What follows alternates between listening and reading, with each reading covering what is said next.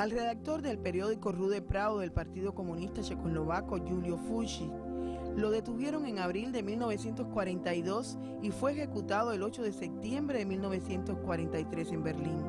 Allí, en una celda de la prisión de Pancrac, Julius denuncia las crueldades del fascismo que aparecen en su reportaje Al pie de la horca, extraído hoja por hoja de la cárcel y publicado dos años después de su muerte.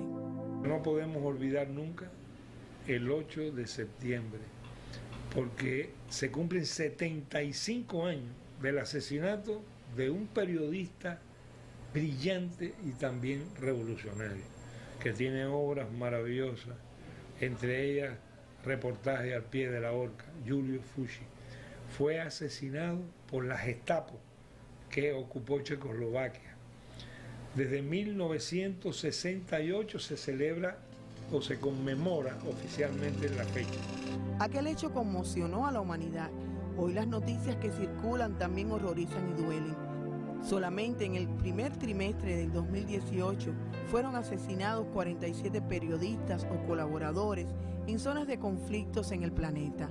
América Latina tiene su saldo de víctimas, rostros de mujeres y hombres.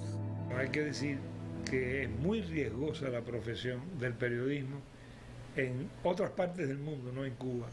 En Cuba el último periodista fue asesinado hace 60 años, pero sin embargo todos los días tenemos noticias de colegas asesinados en México, en Honduras, en Colombia, en Brasil, en Argentina y en otros países. Para el premio de televisión cubano y de periodismo José Martín, Pedro Martínez Pírez, que ha tenido múltiples tareas como corresponsal de guerra, redactor y conductor desde las páginas de revistas, agencias de información y redacciones de radio y televisión, la realidad de Cuba es una luz en la tierra.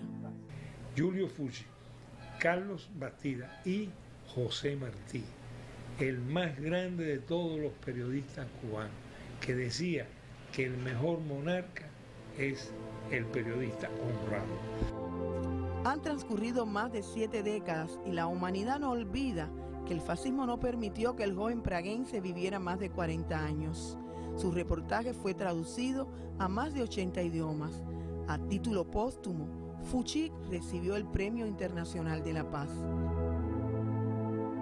Hilda Suárez, Sistema Informativo de la Televisión Cubana.